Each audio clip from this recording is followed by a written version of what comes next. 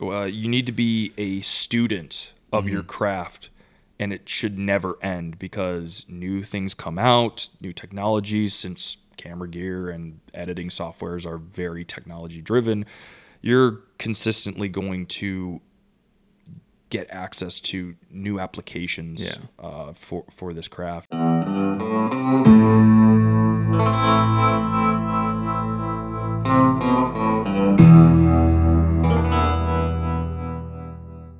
All right, guys, welcome to another edition of the Skiff Wanderer podcast. Today I'm joined by a good friend of mine, Mr. Alex Blackwell. What's up, guys? And uh, we've been sitting here in Texas doing a little fishing. Not this morning. We No. were we were supposed to get out. We got up, got early, got tacos made. We were on the road, got to the gas station, filling up, and uh, started drizzling. Decided let's double check the radar real quick, and said, you know what? We might be doing noon patrol today. Yeah, it's definitely one of those days where weather, the argu- arguably one of the worst variables that we have to deal with as anglers, came into play, and uh, now we have an opportunity to go ahead and create a different form of content. Yeah, sit down and talk a little bit, talk a little bit about fly fishing, talk a little bit about filming, and a little bit about that kind of what goes on behind the scenes that a lot of you guys see the finished product and you don't really get a chance to, I, I think, hear from the guys that are making the films a lot. So I'm, I'm excited to get into that with you a little bit. Yeah. When, uh, let's start off though. When, when do you start fly fishing? Yeah. Uh, so I kind of picked up fly fishing back in, I would call it 2008. Okay. I'm a 94 baby. Yeah. Um, so it's one of those things where I picked it up really late. You're just giggling over there. No, because I, I didn't pick it up till well, let's see. I started in high school, took a little bit of a break, and didn't really get get into it as serious I am now until about two or three years ago. yeah. Uh, me getting serious into fly fishing probably happened the first time I got a chance to go out of the country for fly fishing, which was Belize uh, after I kind of graduated high school and uh, my dad had some connections within the outdoor industry and he was like, hey man, listen, like, what do you want to do? Do you want to go to Alaska? Do you want to go to Belize? Do you want to go to Chile? I've been lucky. I've been blessed in that regard, and uh, I got a chance to go down to El Pescador and Yeah. chase after bonefish, permit, tarpon on fly. At this time, I still kn- I still did not know how to double haul, and it was piss poor to look at my cast and just be like, uh, Yeah. uh, just like that that grungy grunt. And the, the guide's probably sitting there going, What is this kid doing? Yeah, I, I don't know some of the the terms that might have been said about this gringo that was uh, throwing a 20 foot cast and slapping the fly on top of the water. Actually, funny enough, I I got taught there how to double haul by one of their instructors who was this um, who was this female. I forget her name. I mean, it's been so long. High school is a blur to me, and uh, yeah, I kind of picked it up once she showed me the mechanics, and then all of a sudden it was like, oh, I can throw 60 foot pretty easily. Yeah. Yeah, man, shit, I'll do it. It's definitely like Let me ask you this real quickly. Swearing on the Skiff Wanderer podcast. I know you're a pirate, Yeah. and you also love cheeseburgers in paradise. Um, Adam. Adam, play the margarita sound or the right. Margaritaville. Um, uh, where, where would you like me to stop in terms of swearing? Because I am a, I am a sailor at heart. I guess I would say. No, it's not overboard. Not overboard. Yeah. All right. I'll keep my f bombs to Yeah. a to a minimum, or at least I'll try my best. It's funny because like it- like if you sit here and talk to me, like I do not hold back, and I've done a think a pretty good job of in anything that I'm producing, like holding back. But it's definitely like you know trying to.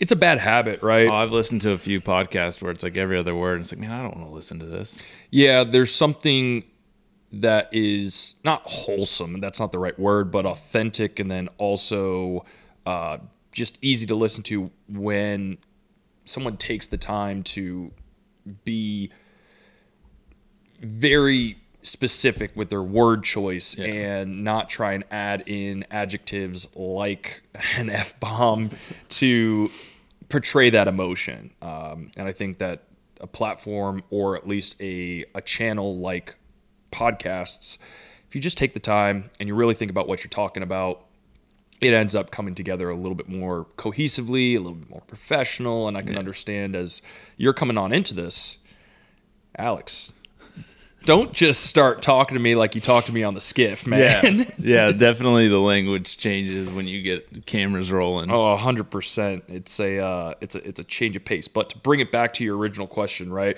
I started fly fishing in this little tiny pond um, that was maybe five minutes away from uh, my house in Connecticut, and it was all four weight, five weight, little bass poppers, catching panfish on fly. And that's how I really started to develop as a fly angler. It was not until I was, you know, 18, 19 until I got my first taste of saltwater fly fishing. And that's where I think I went full in, dive headfirst into this blue ocean Yeah. of a sport that truthfully there is a massive gap. I don't know if you see it between the fresh and the salt scene. You know, freshwater's super technical. It's very, very technical, and um, I have the utmost respect for you know trout anglers. But as soon as you get into the salt, it's it's a completely different world, and that changeover from how do I read a stream, what run should I you know um, drift, hiking back into little pockets. Compare that to, hey, we're gonna drift a flat, and as soon as something comes into view, shoot. Yeah, definitely from what I've seen, like saltwater is a lot faster pace. Mm-hmm. The fish a lot of times they spook real easy, so you've got seconds. I mean that as soon as you see that fish, you've got seconds before Yeah. he's out of your life forever. and I absolutely love that aspect. The reason why I'm so drawn to saltwater fly fishing over freshwater, and I still do it. I like oh, yeah. throwing big streamers for trout. If I can come tie it on a you know 25 inch brown with you know hucking meat, I'm gonna do it. Yeah. it's bad to the bone. And then on top of it too, throwing big streamers for muskie, pike, uh, throwing big poppers for bass, um, and then also I, I, I actually have some fun, you know, throwing around nymph rigs and dry flies for sipping trout, and you know, throwing uh, dry dry hoppers, and I enjoy it. I enjoy the whole aspect of fly fishing in every little niche, but when it comes down to it, put me on a skiff Yeah. and let me shoot my shot at whatever is crawling or just laid up. Yeah. That gets me going. Every freaking morning I could, I could wake up and do this. Granted, this morning I was a, I was a little tired. Yeah. I, I might have been editing a little bit too much last night. And uh, Pete sent me a little text. He's like, hey, you moving? You didn't. You almost got the uh, the full Pete's Hunting and Fishing Lodge wake up, which is Dory getting stuck in the room with you, and then there's no way you can not wake up. That would be savagery. Yeah. But also kind of It's, cute. Yeah, it's one of those like, oh, I don't want to get up, but there's a puppy. Yeah, yeah. And Dory's a beautiful, beautiful dog. Yeah. you you got yourself a absolute gem of a dog. She's rambunctious as hell and Oh basically ADHD up to the top teenth point. There's a reason we named her Dory. Yeah, her attention span's a little. uh Yeah, yeah. It's a it's a little off. but okay, So one of the things, one of the things that uh, you mentioned already, like Okay. you, you fly fish Belize, like you've had a chance through your career to fly fish in a lot of places. What are some of the Yeah. places that you've been? So I have fly fished a lot of unique places. Uh, I've gotten a chance over the last couple of years to go to Sudan, Australia, and a lot of different states over, you know, the con US. Uh, I, I still, I still want to get out to, you know, Chile and do some of the the rainbow trout there. I really want to get into Bolivia for the peacocks, and also you get your golden dorado and your payara, uh, payara, yeah, payara, arapaimas. Yeah. I- there's so much left. I, I I've only touched the surface, and I've used to a degree my skill set within videography and storytelling and my imagery to allow me to get to these places. Right. Fly fishing, in my eyes, is a vehicle to unique destinations and unique places. Like coming here on the Texas coast, where we were fishing yesterday, you're only going to find fly anglers there. So your average boater, your average conventional angler is not going to find himself in those locations. So I always saw fly fishing as a vehicle to cool destinations. I needed a vehicle for fly fishing. yeah. yeah. That's that. That was kind of a uh, a point in my life where I was just like, I really, really, really want to film.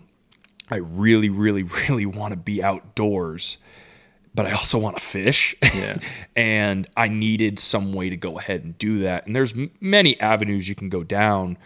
You know, having a YouTube channel, uh, having a social media presence where you start getting sponsors from brands, and I just gravitated towards the video side of things. Yeah, for sure. But yeah, you know, Sudan. Yeah. That place is cool.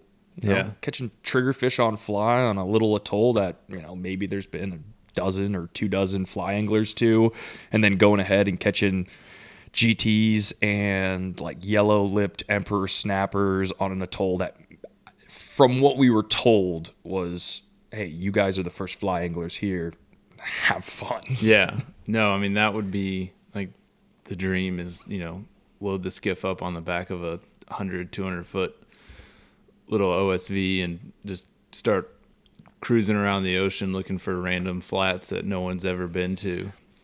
Yeah. There's Just costs a lot of money. It does cost a lot of money. There's there's some last frontiers out there. Yeah, for sure. Unfortunately, the wall, the world is getting much much smaller, and it is rapidly decreasing Yeah. in terms of you know what's left to touch. Yeah. And so that Sudan trip was actually a 12 day on the water, 14 day exploratory trip. First, first of its kind. I, I put out a video about it. I put it up on Vimeo. Didn't really publish it on YouTube or anything like that, but I kind of let my followers kind of see it. And yeah, it was an exploratory trip, first of its kind, into the southern portion of the Red Sea. And I can tell you that what we saw really changed my perspective on things and also like it enthralled me to get out there and explore more. Yeah.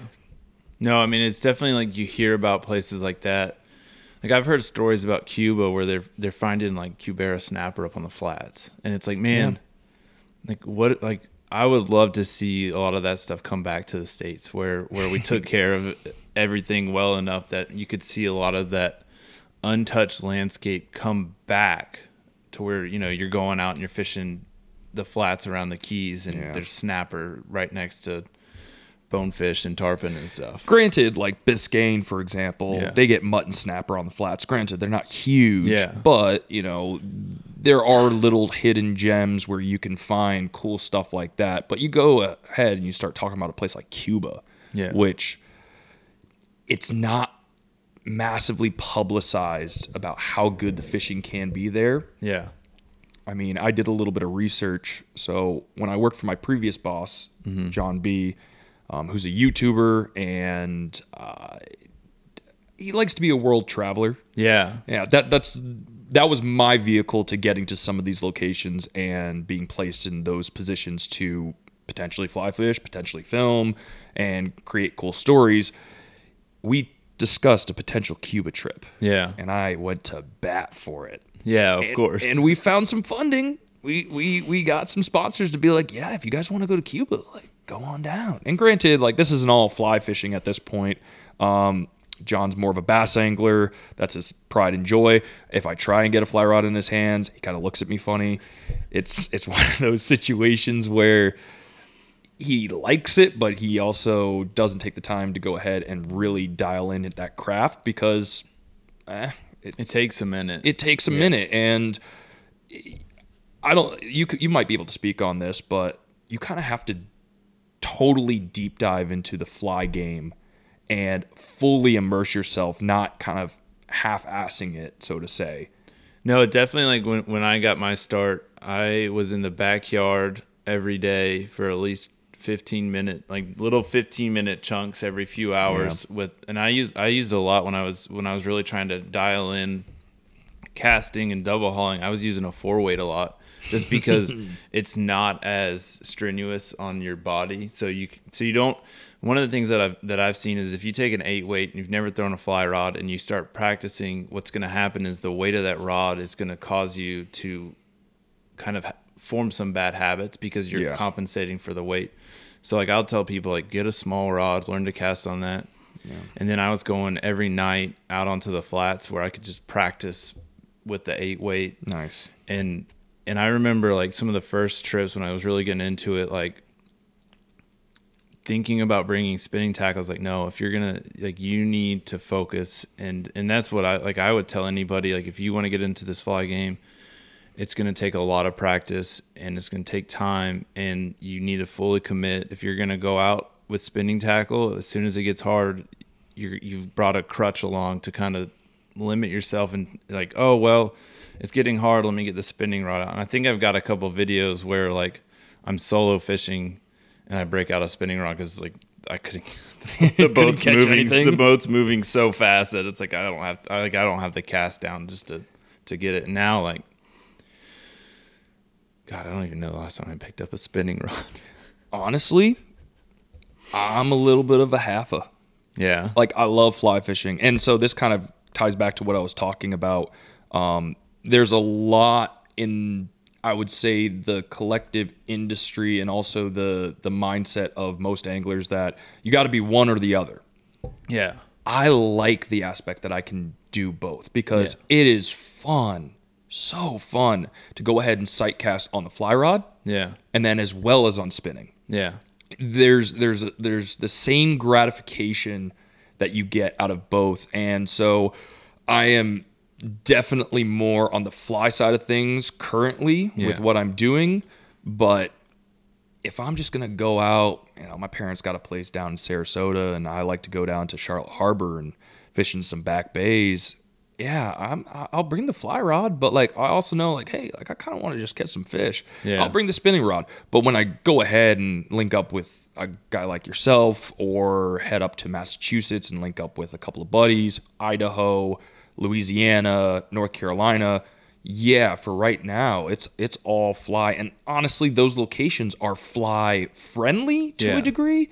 I think that's the best way to put it. Mm-hmm. I, I had a little questioning kind of additive tone there um, but yeah I, i'm a little bit more of a halfa and that's something that's very un- I, I would I wouldn't call it unique, but it's it's different from the standard mindset that most anglers have, and I would love to see more guys kind of blend the two together. And granted, right, when you're down here in Texas, I don't think there's a better way to approach what you do from Yeah. a skinny water sight casting fish method than fly. Yeah. But if you want to go and bang some trout, Yeah.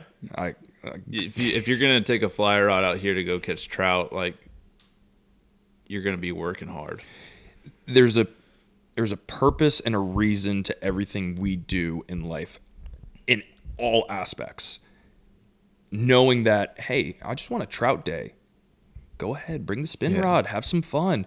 And it, it, it's it's satisfying because you go ahead, you catch, you know, 15, 20, maybe you catch 50 trout in a day. Then you pick up the fly rod and you're like, shoot.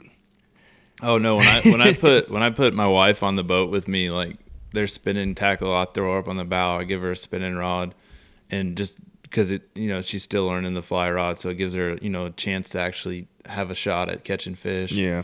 And I mean, I, I can already tell you, like when, when we start having kids and I start getting them into fly, into fishing, like I'm going back to bait, like with the kids. Like you got uh, to start off with yeah, that. yeah, because you got to make it fun for them. And and if you're like if you're new to fishing, like I 100% would be like, don't pick up a fly rod first.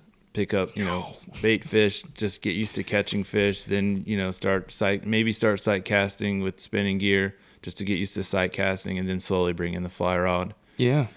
Because it, I mean, you're out there to have fun. No, and I think that that's one of the things that I've seen is like you see like a lot of guys that are like, this is serious. We're not messing around. It's like, man, you're fishing. Like you're out there, you're fishing. Like don't forget, like you this is a fun activity that people like like some like us like we get to do it Yeah. every single day. But like at the end of the day, man, you're you're going out there to have fun, and whatever it takes to have fun, you know, as long as you're also being conserva I think you should be conservation minded Yes. no matter what you're doing, but you should be having fun. My favorite quote of all time. The tug is the drug. Yeah, right. and that and that's the mentality that I keep when I am looking to go out and you Yeah. know fish. Uh, it- each vehicle to the fish and that experience and the places that it puts you. Man, dude, it's just the tug is the drug. Yeah. Like that's that's where that half of mentality really stems from. I like to catch fish. I like to see pretty fish. They're real pretty. I like I like even, even black drum. A lot of people call them big uglies, but oh, man, I love catching. I mean, if, yeah, I love black drum. like don't discriminate. No. Uh, I, I, you know, I my where I live from a social standpoint, and then what my previous job was, I lived on social and YouTube all the time, and from there, I got to see a lot of you know different viewpoints and.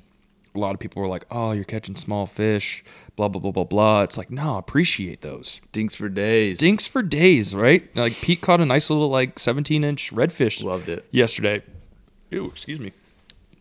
Yeah, you caught a nice little 16, 17 inch redfish, sight casted him. That's not a huge fish. No. It's not a tournament fish, but the tug's the drug. Oh, and that fish too. I mean, like he attacked the fly and then basically, I mean, tiny. I mean, yeah, seventeen inch fish attacked the fly and put me on the spool. I mean, just took off running. Anywhere you go, redfish are going to pull, and they're Oh, going to yeah. pull hard, and it doesn't matter how big they are or how small they are. They're going to pull. And that's one of the things that really opened up my eyes to the inshore game, right? I to kind of give you a better idea of my backstory. I lived in Florida until I was about 10 years old. Mm-hmm. And I had never done any saltwater fishing whatsoever. It was all golf course, bass ponds, using a stick bait, a Senko, a, a big 10 inch worm. And I, I'd catch some bass, and it was cool. And, uh, you know, my, my dad helped me kind of, you know, reel some stuff on up here and there. So I, I never really got introduced to the saltwater scene until I was like maybe a freshman or sophomore in high school Yeah. and that probably changed my life. I I think that the first saltwater experience I had with redfish, snook, tarpon just ruined me. Yeah. it ruined my bank account. Yeah, oh it, it, it, it ruined my mentality on oh, like let me go catch a three pound bass. I'm not saying I discriminate, but at the same time too, I'd much rather go catch a three pound redfish than a three pound bass, and that's because they just pull harder, and you find them in some of the most pristine and unreal places. I I I, I I've fallen in love, full head over heels, to the inshore game, and yeah, man, it's uh, when you when you get a chance to come down, fish with Pete, get to see his neck of the woods. It's so intriguing to look at the United States or even just the Gulf Coast as a whole and how much it just changes. Oh yeah. Like I'm I live in Florida. I lived in Florida till I was 10, moved to Connecticut till I was about 20, 21. I was up in New Hampshire going to school trying to be a meteorologist cuz I love weather even though it can it can ruin uh ruin some some fishing days. But then I moved right back down to Florida because I started to do some inshore fishing and Yeah. that again changed my life, ruined me, and I truly don't believe that I'll ever not be in Florida for long periods of time. But essentially, man, I've lost. Oh, yeah, no, now I know where I, where I was going. The entire Gulf Coast changes massively And one of the things that I've noticed about your waterway is that there is a immense amount of seagrass, Yep. lush, green, and a ridiculous amount of bait fish. Too much, too much mullet. Too much mullet, honestly. uh, th- th- those things are assholes, honestly. But you know, you look at places that have my heart, Charlotte Harbor, and seagrass is absolutely devastated. You look at the red tide events that are going on in that Tampa, St. Pete, even Fort Myers area, and it is truly devastating. I've seen the red fishery in my neck of the woods drastically change in even the last 10 years of me being around it. And I talk to guides all the time about what it was like 20, 30 years ago when they were, you know, just starting off. And I got a cool little subsection of a story here. Charlotte Harbor, which is a place that is near and de- dear to me, as you guys can tell. Uh, there's a guide there. His name's Captain Rhett Morris. Ridiculously bad to the bone individual. He gets after it. He was telling me a story about how about 20, 30 years ago, when he was just starting to guide, he used to wade out onto the flats. Didn't have a boat at the time, just would wade out onto the flats, and it would be about like a two mile hike on dirt pathways to a flat. And he would find schooling bonefish. This is this is north Yeah, of yeah. Fort Myers. This is north of Sanibel, tucked back in. So on the east in the east wall Yeah. of Charlotte Harbor, he used to find schooling bonefish, schooling permit, and ridiculous amounts of redfish, snook, and uh, tarpon Yeah. and he's like that all disappeared 20 years ago you know started 30 disappeared Yeah. 20 and after the last 10 years he's like our redfish population has become dismal. The snook population is solid not great. And the fishery has just kind of taken a massive step back due to the negligence of certain individuals. Um, and one of the biggest ones is Mosaic. Uh, that that got brought up with the Tampa Bay dumping of uh, Piney Point. Yeah. Mosaic was a part of that because they dumped a ridiculous amount of sewage into Tampa Bay, caused a massive red tide bloom, and also another uh, microbacteria or microalgae that literally suffocated the water and killed football fields worth of fish. And the Peace River that runs into Charlotte Harbor, there is a phosphate mine from Mosaic that's up in the northern section of the Peace River. And they dump those nutrients and you know the toxic Whatever they're not using. yeah whatever they're not using Oh, need it. into the Peace and it filters on down into Charlotte Harbor and that fishery you know from from my conversations with guides used to be as good if not better than like Biscayne Bay Florida Bay and unfortunately it's just taken a hit and because it's also in a unique area it's not Tampa it's Yeah. not Miami it's not Fort Myers it's you've you've got you got uh, Punta Gorda and Cape Coral from the top to the bottom, maybe Placida over off to closer to the coast. They're not big cities, so that area just kind of loses the Oh, yeah. attention. And so when you guys hear about these huge red tide blooms in Florida, you'll hear about Fort Myers, Yeah. Sanibel, you'll hear about Naples, you'll hear about Tampa and St. Pete, but you just won't hear about Charlotte Harbor. So it it hurts my heart to know that that fishery is consistently taking left hook after left hook after right jab from unfortunately the negligence of individuals. However, this is the contrast. Coming over here to Texas, mm-hmm. There is lush seagrass everywhere, and I, I, I was I was already mentioning there's a ton of bait, there's a ton of mullet, too many mullet, Too many mullet. too many mullet.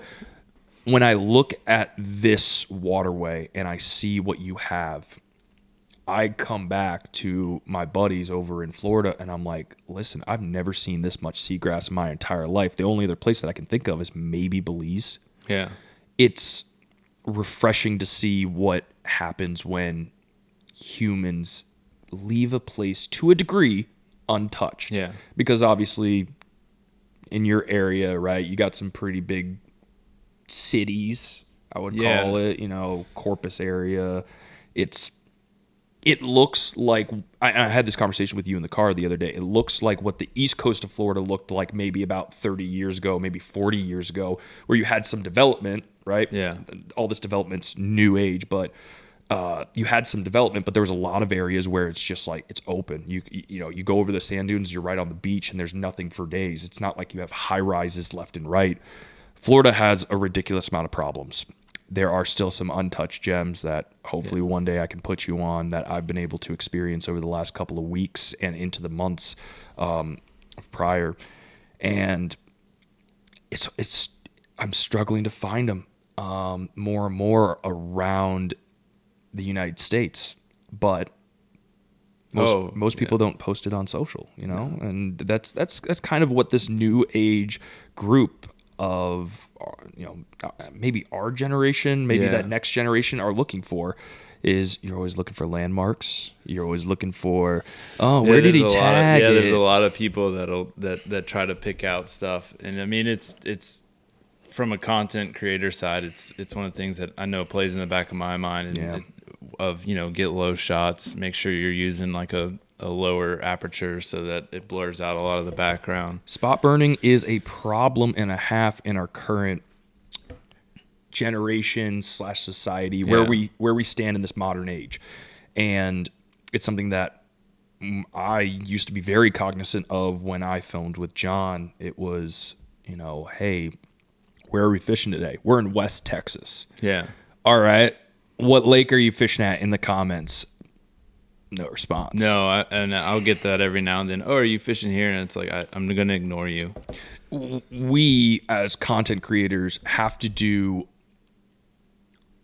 we have to service our consumers to Yeah. a degree and i think there is a threshold of hey everybody come to this location and fish this spot because i took a photo and you could see landmarks you could see um, you tagged it appropriately Yeah. and you you unfortunately see areas get absolutely massacred by anglers because everybody and their friend, everybody and their mother, everybody and their uh, entire family is going to come run to that location because it's so good or it's so untouched. And unfortunately, I think that's the problem with Florida. Is Yeah. that you know it was it was highly publicized that yo this place is a magical place, and then you start to get the high rises and the buildings and whatnot. So in this new age, we definitely have to do the ecosystem a service by being cognizant of not spot burning, being cognizant of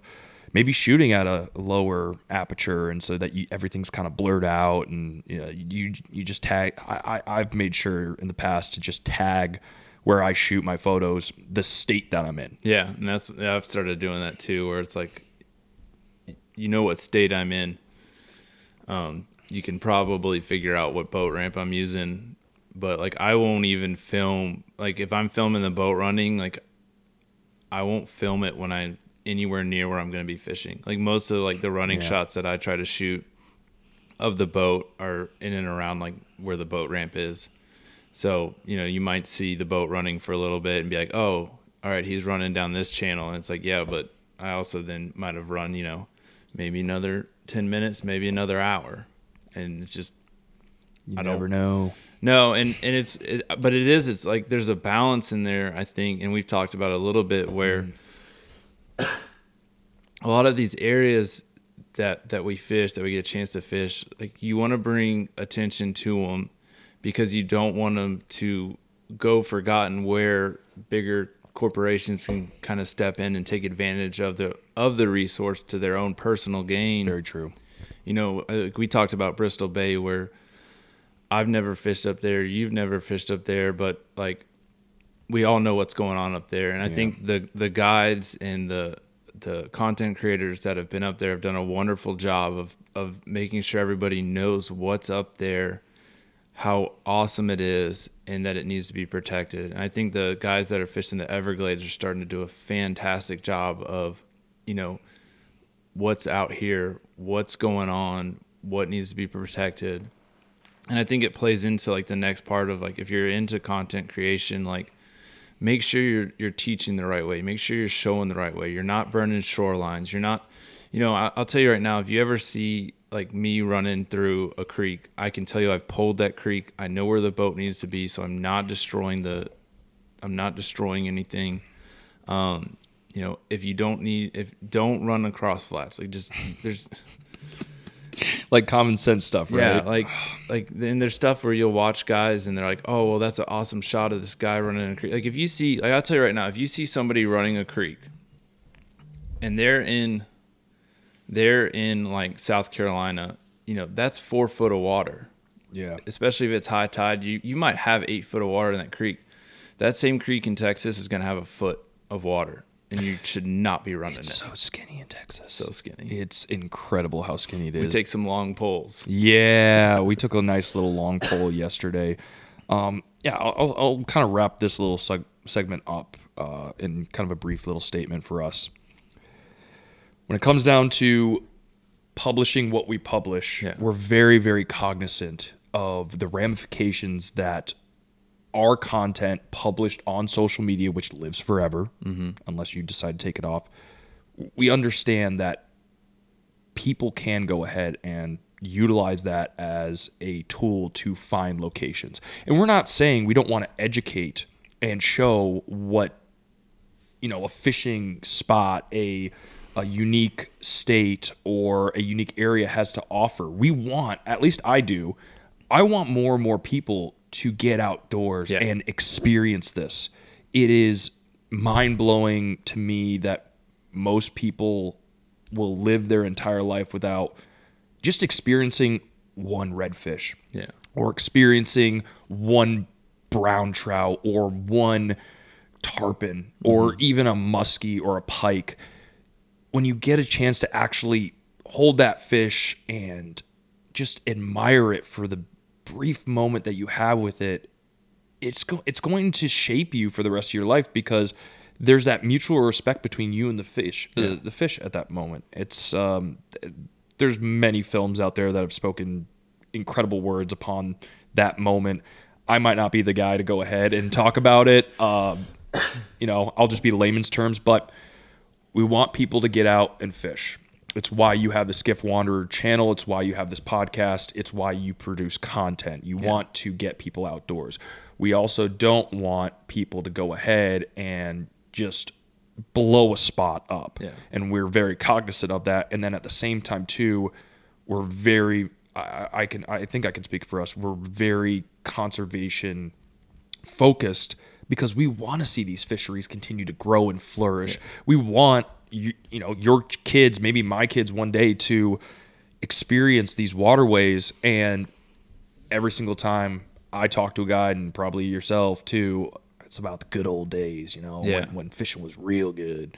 Yeah, no, like my, my like I, I I want this mentality to come into like anybody that's in the outdoors. Like I, I really want there to be this mentality of I want one day to sit down with my kids or my grandkids and be like, you don't know how good you have it now. Back in my day when I was coming up, we didn't see fish like this. Yeah. And, and I think it's it's it's obtainable. It's gonna be a lot of work, but I think it's obtainable and I think one of it is just adopting that mindset of man, kid, you don't know how good you have it now.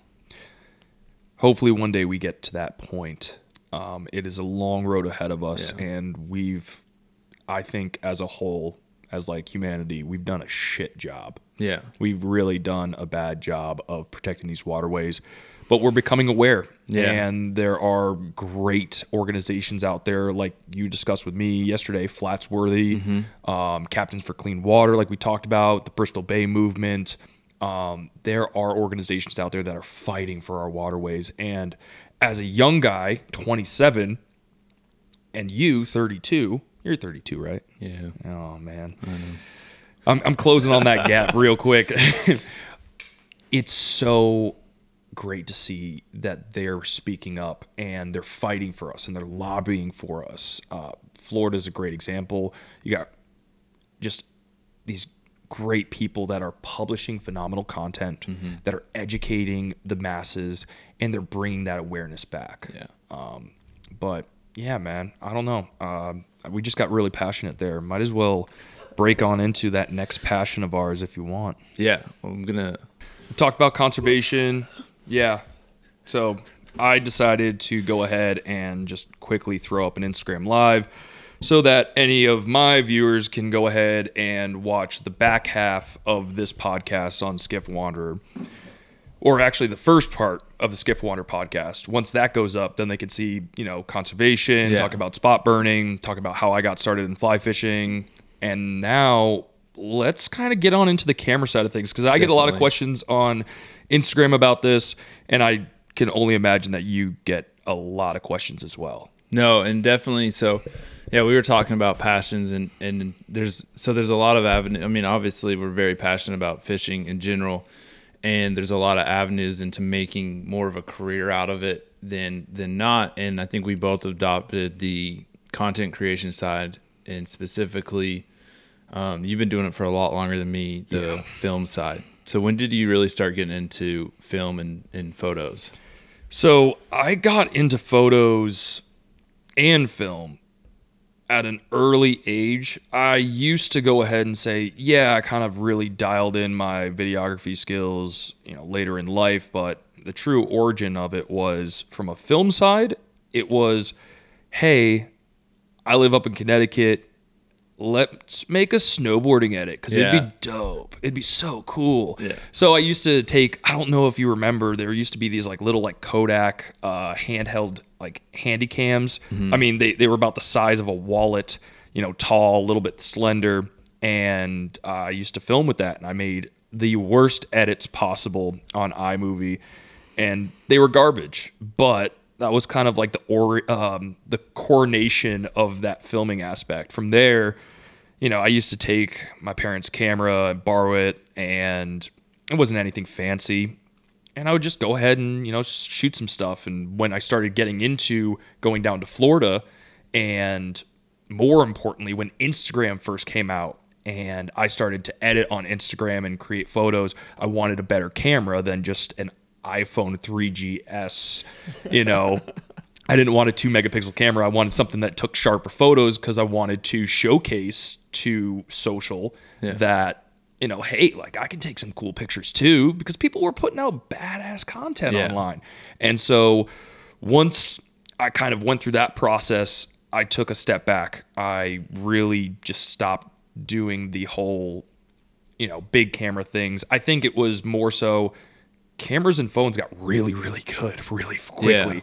And when I was in college, at that point, I had garnered maybe like 1,500 followers.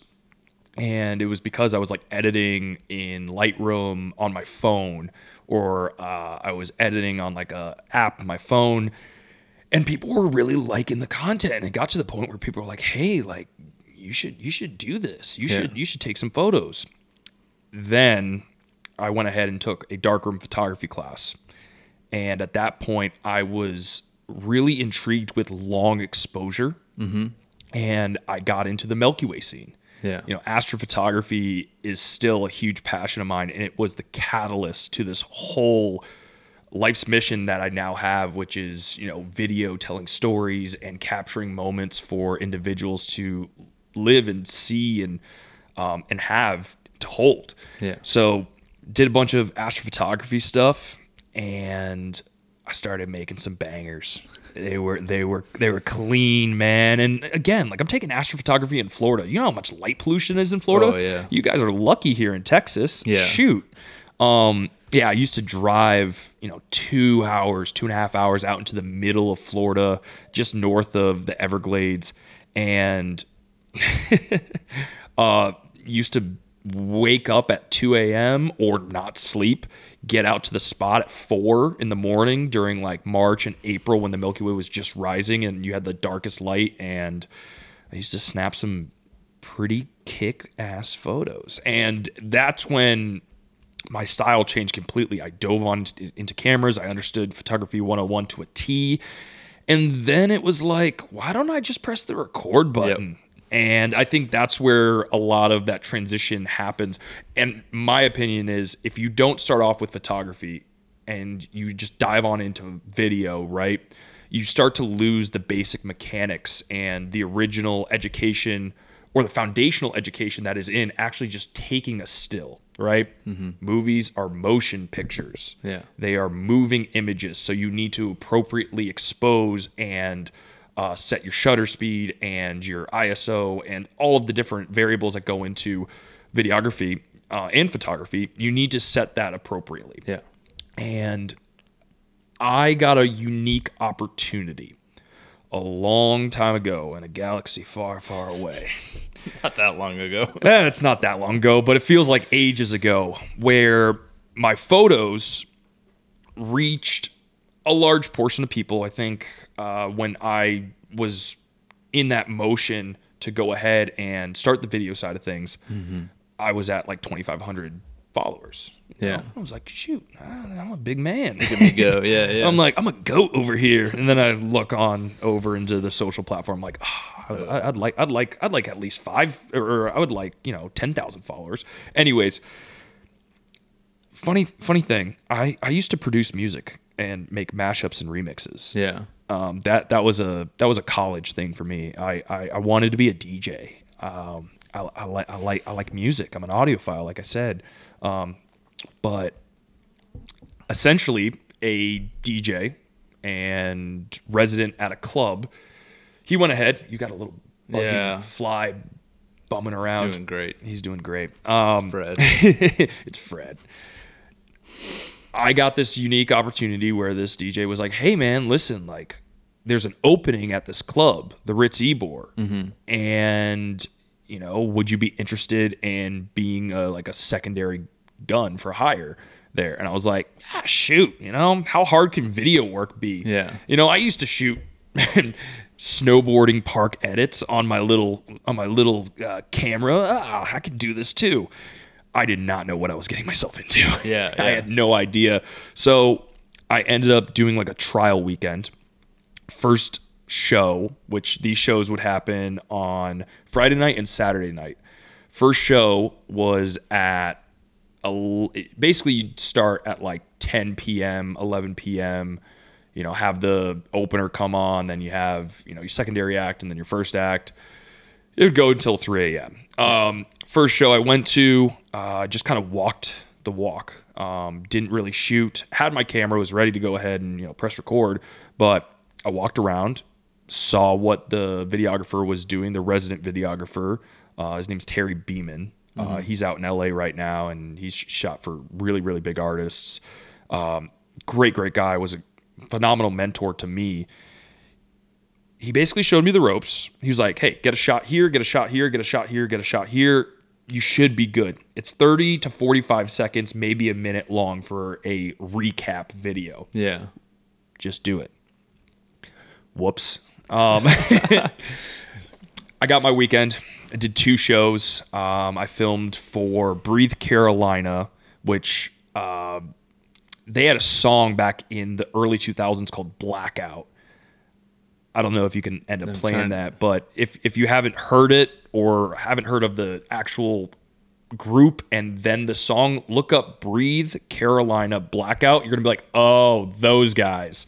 Um, and then a DJ by the name of What's So Not, who is Australian, and yeah, What's So Not, he puts out some jams. Oh, Uh, but I filmed those first two videos and they were trash. However, I learned Premiere in a sit down session with a buddy of mine who owns his own media production company called Vibrant Aspect Media. And I basically learned Premiere and how to do everything I needed to do in one sit down session. And then the next one I kind of did by myself. And then it was just, you know, trial by fire. Yeah. um, I got back with those two edits and he was like, these are good. They're not great. And here's what you need. you. Yeah, they're not fire, man. These aren't bangers. Um, bet. um, Kids. yeah, kids. Um, but he gave me some points, and he was a hard critique, and so that's something that I do with a lot of my following. Is I'm a very hard critiquer, and it is blunt, and it might be coarse, but it gets the job done. And there's no way to sugarcoat a bad edit. You need to hit them with time codes. You need to hit them with transitionary points.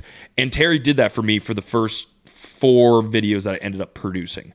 I went on to taking over his position and filmed EDM shows at the Ritz for about two years, and I did about 100 shows. Um, no, I did about 200 shows because it was it was two every weekend, and I would, you know, I phased in some new guys later on, and they're all doing fantastic big things now. It was it was kind of a hub for content creation Yeah. or video creators. And I learned how to color grade during that time. I learned how to appropriately uh, transition clips with motion and blur, and how to set up a you know a short story in a minute format. Yeah. And so after absolutely just beating myself up, like I'm not fishing, I'm working 90 hours a week. Um, cause I worked as a, a retail manager for Buckle and PacSun during that time frame. But yeah, I worked 90 hours a week. I had like no social life. I just was like wake up, grind, go to uh, go to sleep at like 2 a.m., wake up again at six, and keep going. I killed myself for two years. I finally said enough is enough. I've done this EDM stuff for a while. I'm pretty damn good. Let me go ahead and start doing some freelance stuff. So I Yeah. worked for an auto detailing company. I worked for an AC company, and I did a little bit of real estate. Um, nothing too crazy. And I finally said, let me apply this to fishing. Yeah. And holy cow. I mean, I whipped up my first one, and then I started getting some um, some love from like uh, Yakko, Yakko, Yeah. Yeah. Yakko Lucas, Jack, Captain Jack Productions, um, Tom Rowland from Saltwater Experience, uh, Avid Gear reached out to me. They're an apparel brand. Skinny Water Culture was like, "Yo, what's up?" Um, I started getting that recognition that I didn't think I would ever get, and it was monumental because it it clicked for me. Yeah. And I finally transitioned over to filming fishing content. I put out, you'll love this. I put out four videos in four months. After those four months, I then got hired by John B and worked in YouTube with him for the last two years and some change. And now I'm doing my own thing Yeah. for for a startup fly fishing company, and yeah, um, it was an interesting road that I got on into, but man alive, has it been a freaking fun ride. Um, those first couple of edits that I ended up putting out, I now see so many issues with them when it comes down to the fishing side of things.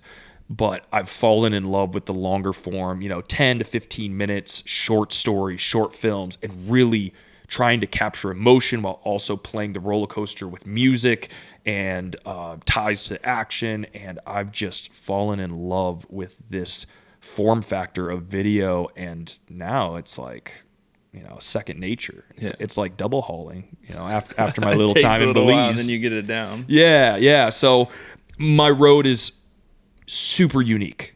It's very different from a lot of individuals. So I would love to hear how you got into the video side of things. And then maybe we can kind of touch upon some editing points and yeah. whatnot. So one of the things that, that I want to point out before I, before I really get into the my my background is for anybody that's listening that is thinking about getting into any form of content creation. One of the things that hopefully you picked up from Alex's story is the amount of hard work, the amount of long days, the amount of this sucks go back and do it again like this this whole entire like when you see somebody operating alex at your level like i think a lot of people don't realize the amount of hours spent messing up doing it wrong and i mean that's like as i've gotten into filming more and more with skiff wanderer i mean you've been a huge help in critiquing my stuff um, A little hard at times. that one of one of the journeys that I wanted to to kind of have in Skiff Wanderer was my journey as a filmmaker, mm. as as a content producer, and that's why like if you look at some of my first stuff, like it's terrible.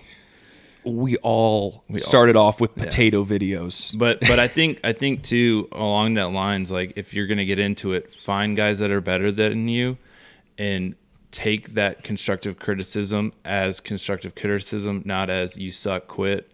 And I think also like detach emotions. Yeah. I think that's Yeah. the biggest thing, right? Yeah. This is an art form, so video is subjective. So you got to rationalize that in your head. And then two, right? Not everyone's gonna like your stuff. No. Uh, plain and simple. You're not gonna appease everybody, and you need to just take a step back and say what makes me happy, Yep. while also fine tuning the craft, right? The craft, the foundational aspect of video, you know, um, the filming, tell, uh, uh, getting the right B roll shots, your A roll shots.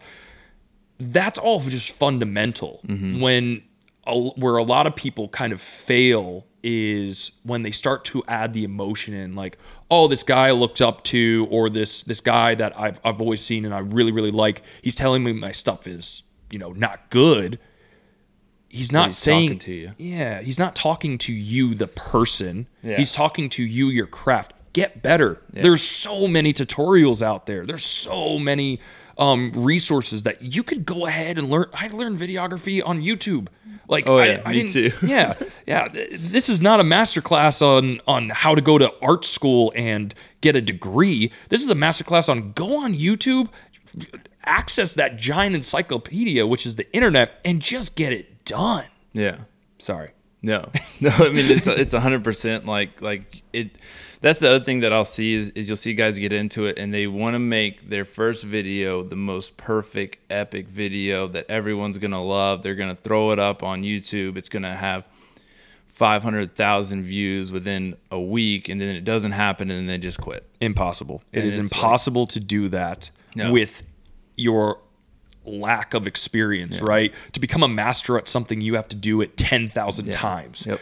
I'm only like 400, 500 videos deep, and that's being mm, like, uh, that's that's me being maybe like over dramatic. Maybe Yeah. I've produced like 300 videos, but I've got a long way to go, and Mm-hmm. yet there's now gotten to a point where people see, oh, there's like that's a really good video, but that was that's 300 videos deep. Like you're starting off, you've maybe produced 10, and you're like, why isn't my stuff looking the way that yours does? And you know uh, that, that that's something that maybe we can discuss a little bit Yeah. later when we get on into some camera techie stuff. But Yeah. again, Yeah. how did you get on into this whole filming thing? So I actually, um, as a kid, we had one of those like over the over the shoulder camcorders, and I would run around in the woods in my with my friends and like film us making movies that were just terrible. and then at the same time too, my mom always had a, a DSLR. Well, I guess it would have just been not digital back then. It was just old film cameras. Oh, okay. Yeah. SLR. Yeah, basically an I don't SLR. know. So like she and she would like I mean, those things aren't cheap, but she would let me as a kid play around with it and everything. And then um I went on a 5-week road trip, picked up my first DSLR, started taking a bunch of pictures.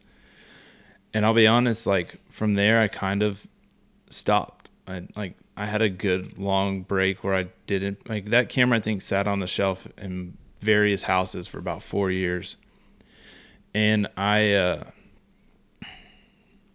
one day we were watching we were watching Meat Eater and kind of dawned on me like, man, I have the time and the ability to go and do all this DIY stuff. Like I should do it. And I at the time I was also making these like GoPro edits of my work down in down in Antarctica. And like you know they were getting like people that saw them were like oh these are pretty cool. And so when I went on my first I went on a 18 day DIY over the counter elk hunt in Colorado. And I looked at my buddy I was going with. I was like I'm gonna film it. It's gonna be epic Ballsy. and uh, while I was doing it, though, I started taking some photos with that same that same little camera, and got back on the ship and you know was like, how can I make these look better? So I started watching a lot of stuff on how to edit photos, and you'll love this. I actually that first group of photos that I edited, I used Photoshop. Yeah. Not even Lightroom. Yeah, yeah. I mean, mean, didn't even know what Lightroom was. Yeah, the, the you can I, I know a lot bunch of more people. difficult. Yeah, I know a lot of people that utilize Photoshop to edit their photos, Yeah. and um, I mean, at the same time, right? All the sliders are the same. Um, All those adjustments are pretty much the same. Uh, Lightroom is just a little bit cleaner. Yeah. Because Photoshop is very daunting since there's so many tools that you can utilize. Um, but again, right? You weren't photoshopping. Yeah. No, so I started um I put I put started putting some of those photos up on Instagram and just was getting this feedback of like, hey, like well, before I even started getting that feedback, my mom was like, "Man, you you know, you take some really good photos. You should you should kind of get into this." And then my wife was like said the same thing and it's like, "All right, well, you're my wife and my mom. You're supposed to tell me that stuff." but I started putting them up on Instagram and they were getting a lot of traction. I was like, "Man, maybe maybe they're right. Maybe I should start looking into this more." And so I, I honestly like, I was living in Florida at the time, and I would just take off and go into the WMAs around me and just spend hours hiking and taking photos of whatever I could find.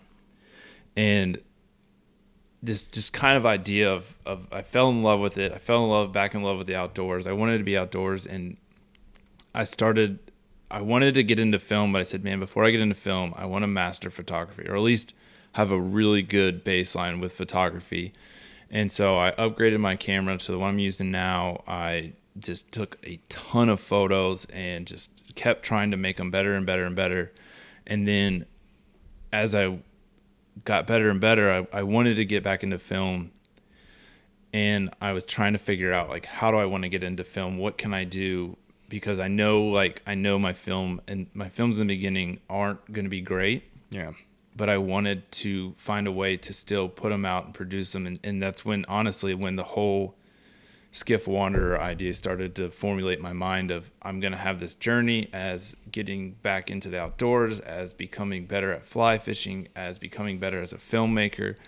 And I can put this on YouTube because it's YouTube and you can put whatever you want on YouTube and and it'll just kind of give everybody this this sense of like, you know, hey, you don't have to be a master at any of these things to just go do it. And and that's mm. that's where I'm at now is is still trying to master all those things and yeah, I mean, I think if if you want to get into it, just get into it. Just jump in 2 feet and just realize it's going to be a long road. I mean, I think I started really picking up the camera and that was 4 years ago Gotcha. and it's but i mean it's just constantly like learning and i mean i still jump on and watch youtube videos about how to make stuff better Yeah, uh, you need to be a student of your craft, and it should never end because new things come out, new technologies. Since camera gear and editing softwares are very technology driven, you're consistently going to get access to new applications Yeah. uh, for for this craft. And yeah, man, um, I am head in like I deep dive massively into the study of this craft every single day, every single week, every single year. I'm always learning, and I think that people just believe that you pick up a camera, you press record, and you splice up the clips, and that's it. What my, one of one of my quotes that I like to say is anybody can film. Anybody can press Yeah. the record button. Um, shoot, you don't have to be great. You can have wobbly hands to a degree, but it takes an artisan and an artist to go ahead and produce in post. yeah oh for sure yeah to make everything fl- i mean that was honestly one of the the best parts about getting into film along along with starting a vlog about fishing is it, it taught me it's taught me very quickly how to edit a day of fishing into a story that mm-hmm. makes somebody want to watch it. Because it's I mean it's easy to go out there and you can get awesome shots of people casting and awesome shots of catching fish and fish releases but then to like piece it all together of you know this happened and this happened and we did this like it, it takes a lot of of messing that up and looking at what you did and saying i need more of this footage i need Yeah. to make sure i'm doing this and honestly like the vlog thing is immensely like helped me become better at that Yeah, because you're actually performing the act of filming with intent every single time you hop onto the water. Um, yeah, one of the things that I love about what you do with the rough logs is there is a cinematic aspect to it, but it's also raw. So it's this beautiful blend between what you'd expect to see on YouTube Yeah. and then also what you don't expect to see on YouTube. And it's something that I tried to do uh, with John when I worked with him. It was how do we tell these stories in a cool, unique, cinematic fashion while also being true to his origin Yeah. and what the channel truly was, which was GoPro chesty footage, you know, vlogging, all that other stuff. So I absolutely love, excuse me, what you've done with the rough log. Yeah. It is a Rough. great piece of rough, raw, cinematic beauty, all mixed together to create a 13, 15, 20 minute video that is just about hopping on the boat with some buds, shooting some camera, killing, uh, not killing, I'm sorry. Uh, I was going to say killing some Ca- fish, catching some fish, catching some fish, or not. or not. It depends. Um, it depends on how hungry Lindsay is. yeah. but yeah, uh, you you've done such a great job with starting from ground level 0 and working your way up. And I think I can speak for you on this, where when you do this, you enjoy the process, Oh yeah. and that's something that is a indicator of whether or not you're going to succeed in this mm-hmm. in anything you do in life. If you do not enjoy the process of waking up early just to get some extra B-roll shots, staying up late just to finish up that edit, Yeah. taking the time with a fish, you know, making sure it's going to be revived but also grabbing, you know, four or five shots for a different selection so that when you go back and post, you're set up to succeed Yeah. if you don't love that process, it's not for you. No. It's like, hey, I didn't love the process of school. It's why I bounced and I'm a college dropout, but look at me now. Yeah. I, I, I run around and fish and film and I, I do some cool stuff. And granted, right, I, I have some regrets about that, that whole process and how it went down. But at the same time, too, right, I followed my passions. I was a, a student of the game and I dove into the everlasting process that is filming and videography and content creation and media production. Uh, I I, I want to learn more, man. Yeah. I, I I'm at a point in my life where I want to get better at studio shots, mm-hmm. which is Oh, something yeah. that you know for you, you know. I look at him and I'm like, man, I, I would love to know how to do that, but I'm not ready. Yeah, and I, now I'm at the point where I'm lucky enough to be I'm ready. Like Yeah. let me dive into a studio and let me dial in lighting and make sure that I I can create some of the best product media that I possibly can, but at the same time too, going back to my roots, getting in the water, sitting crisscross applesauce, shooting some tailing black drum, you know, on a 400 millimeter lens. Uh, I like that aspect, and I don't mind the idea of hopping on into a studio and having two people with me and lighting stuff up and getting the appropriate shots. Uh, this video thing, it's it's so dense, it's very complicated.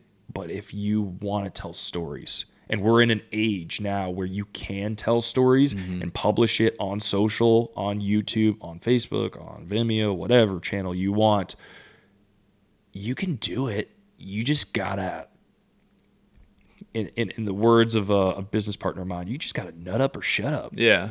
Yeah. now uh, I did I got a question for you. Um, Yeah. With everything that you're doing, Mm. How weird does it feel? Like, how weird does it feel to be out on the water without a camera? Do you even go? Great question. I actually love it. Yeah. I because my life, my work is centered around holding Yeah. a camera at all times. I get very brief moments mm-hmm. where I'm able to set that down Yeah. and just immerse myself in hydrotherapy. No, I've got some. I've got some great friends that like I'll I'll have. I mean, I'm, I don't go on the boat without my camera gear, but I'll jump on the boat with them with everything, and they look at me like, "Man, let's let's just fish." And I'm like, "You know what? Let's just fish." And it's just you get a you get a chance to just kind of just enjoy being out there for the day. I mean, I'll tell you right now, the whole time in the back of my mind, I'm like, I could get this shot, I could Yeah. be doing this, and but it's at the same time like, you're like, man, it's just nice to just enjoy it. There's a point from the for me it's a profession for you Yeah. i would call this a growing profession Yeah. um, there's a point where you need to take what is a hobby and separate it away from a profession. Granted, now I've been if I'm gonna have fun, I'm just gonna roll a chesty or I'm gonna roll a head cam. I'm gonna get some cool shots, and I kind of just forget about it. It's already rolling. I'm not trying to get uber cinematic. I'm not trying to tell a story. I'm just trying to capture a moment and just let it live, uh, live on video. And that's how a lot of these YouTubers started out. You know, I got a good deep dive into uh, John and his mentality when starting off. He was like, I just wanted to go. I'm sorry, I had a bug fly in my face. Um, he's like, I just wanted to go ahead and just relive those moments. And for me, I, I, I walk on two lines. It's either I don't have any cameras at all, or I'll just bring a GoPro and a chesty. But a trip like me coming down here, right? I- I'm down here for work. Um, I, I you saw me. I got down I got here for down tacos. tacos and work. the the fishing lodge here, Cat and Pete's Fishing and Hunting Lodge, five stars, and that's a quote taken directly from the one and the only Bryant Patterson. If you don't know who he is, just watch some wildfly stuff. You'll uh, you'll see you'll see an interesting Alabama boy running around with a with a nasty double haul On a on a trout stream. on a trout stream. Um, he does like red fishing, but whew, uh, he doesn't get down there enough. No, those boys are hooked. They they're already trying to like. So can we come back? Like, yeah, come on. Yeah, they're they're they're awesome guys. Um, that that whole situation, the whole Wildfly and uh, Short Bus Diaries, that they've gone ahead and just manifested and put on into social is a wonderful example of how you can be successful after years and years and years of creating videos and not seeing any results. Yeah. Um, Scotty had been publishing videos for years. Um, and they were they were solid. They were great, but then he had that one that just fired off. So never give up. I, I think that's the biggest thing. Never give up. Always perfect your craft, and as you get better, people will start to notice. And uh, I think the biggest thing in my eyes is what happens on the cutting room floor in post. Actually, you can you can document a day, but piecing that together and putting everything cohesively into however long that film episode rough log needs to be you you've you've gone ahead and created something completely new Yeah. and you've you've changed the perspective but also you've shaped the path in which the audience walks. That's freaking cool. Yeah. it's kind of like playing you know god a little bit. It's like you're gonna walk down this path and this path Watch only. this. watch this.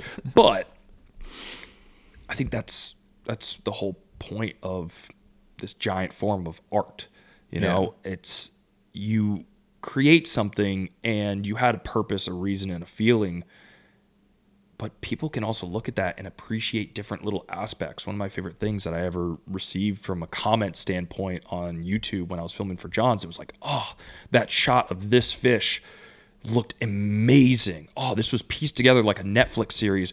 It's or or better yet, right? Um, oh, that that little section of audio just sounded awesome. The sound design was great. It's the little nuances, it's the little details that Yeah. I I go the extra mile for, and I do it for myself. And I love that. Yeah. And if someone can appreciate that while walking that path that I've Yeah. laid out for them, they've noticed that little pebble on the side of the road that was just kind of sprinkled there by me. And it shows that people pay attention. Yeah. And with video, I mean, our attention spans are pretty pretty dismal at the moment in society. It's like 15 seconds and then ooh, squirrel.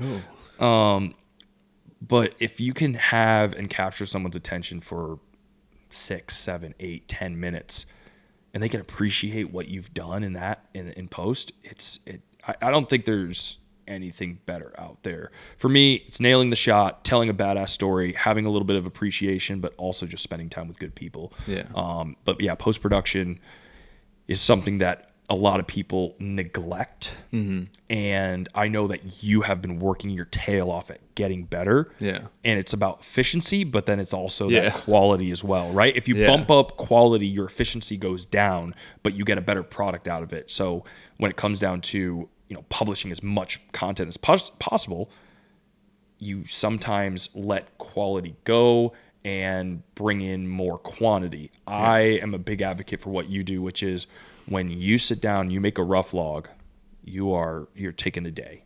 Yeah. I'm getting it down. Yeah, I'm getting, that- I'm getting that time frame down. you're But- building up the efficiency, and Yeah. I'm I'm really intrigued to see where rough log goes, and maybe just maybe, maybe it's not rough anymore. No, it's definitely like I mean for me like you get like I look forward to those days where I know I'm going to be stuck behind a computer editing because you get to relive a lot of those moments Yeah, that you had. I mean, and it's really cool too being behind I mean when you're filming, you know, you get to see the whole behind the scenes aspect. I mean, I think the the best example I can think of is yesterday when we were eating lunch. We're eating lunch, we got the turtle box going, we're just hanging out. We start Vibing. seeing tails pop up all over the place.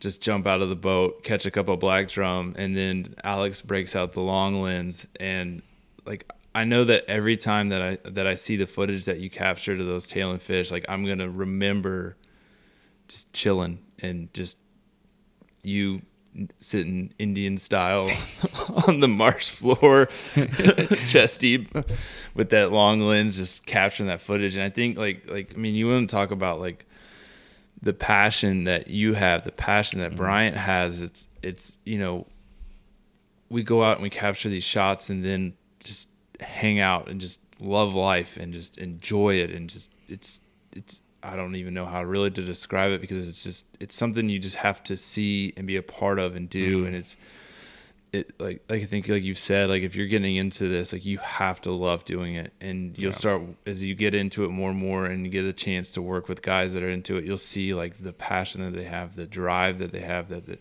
you know we're gonna take the time to get the shot and then we're gonna take 20 minutes and hang out where's the applause button? Because I kind of want to hit it right now. Thank you, Pete. That was that was brilliantly said. yeah and uh, you're dead on, man. This Yeah. is a we got one life, man. Mm-hmm. You got to live it well, as Sims has, or fish it well, as Sims has it well. duly uh, noted and used for marketing materials. Damn you guys. That's a good one. Yeah. It's, go, it's, it's, it's yeah it's, it's it's a pretty good one. I I always think to myself, I'm like, shoot, that was a good that was, that was a good little snippet um, that they could use. But yeah, you got to live it well. You got to fish it well. You got to go ahead and you know just enjoy the small moments, man.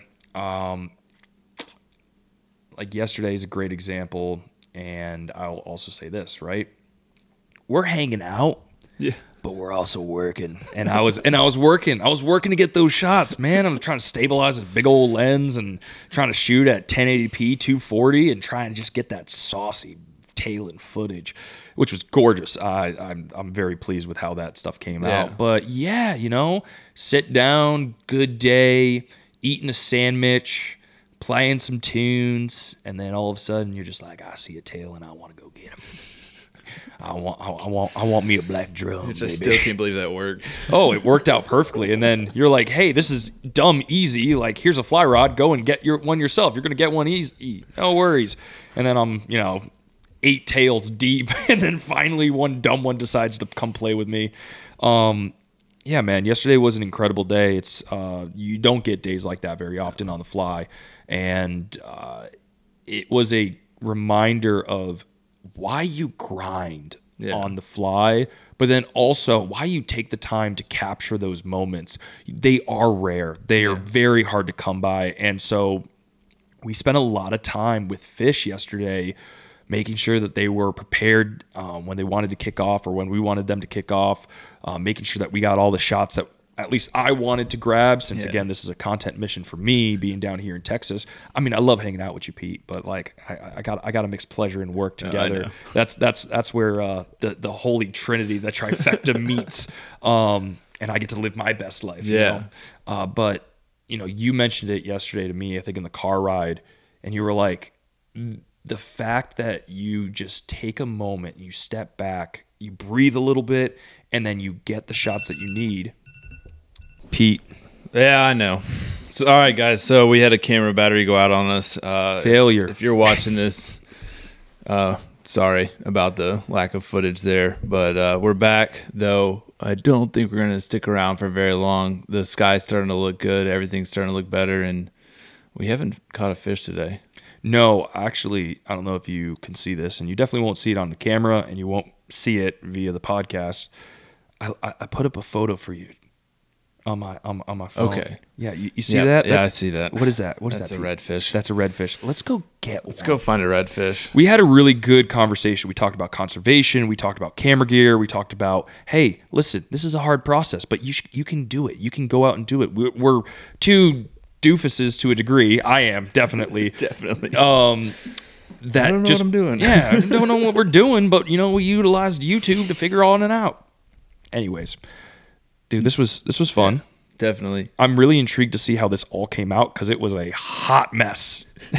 but hey, listen, what third time's the charm? yeah, no, definitely still learning a lot on the podcast side. Um, you guys, I'm going to leave links down below for a lot of stuff we talked about today. And so you guys can go and find more of Alex's work, which you should definitely check out. And then, as always, hit like, hit subscribe, all that other stuff. And I will see you guys soon.